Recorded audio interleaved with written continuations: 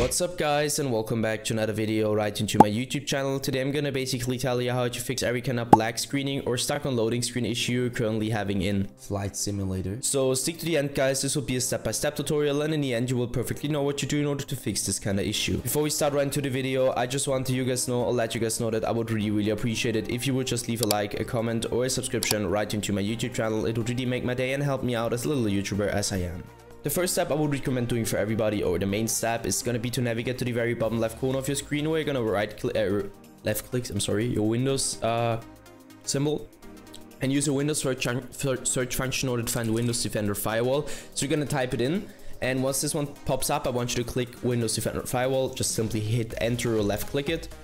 Once it pops up, navigate to the top left corner, click onto the second link where it says allow an app or feature for Windows Defender Firewall. You're gonna click on that. And once this tab pops up, navigate to the right hand side, click onto change settings, and go down to allow another app. After clicking onto change settings, you should be allowed to click on that.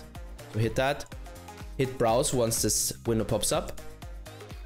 And now I can't really tell you where it's, where it's located because on every single PC is located somewhere different. You need to search it for yourself and once you found it, you're gonna hit open and afterwards you're gonna hit add. And once you hit add it should be it